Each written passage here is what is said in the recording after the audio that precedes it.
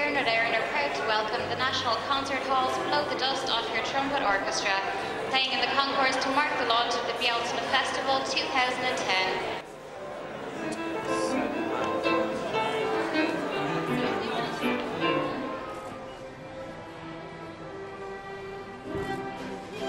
Blow the Dust started when I had a conversation with Dominic from Bealtaine about what we could do to um, connect older people to music and maybe bring people back to their instruments if they hadn't played for years. Well, for a year that is, as we all know, so recessionary, it's absolutely wonderful, I think, when you see the programme and see the amount of light-hearted and artistic events that are taking place. The orchestra brings together a wide variety of uh, talents, a wide variety of people, but the common denominator is that they all enjoy themselves to the nth degree.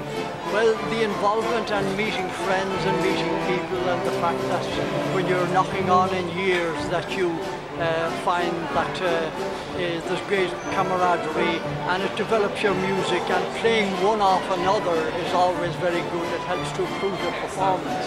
They've really made the National Concert Hall their home, which is exactly what, what we were hoping for.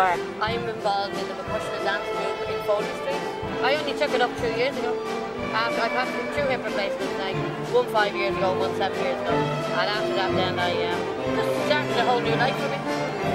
Think they're gone over the hill go to these, come to these festivals and realise they aren't.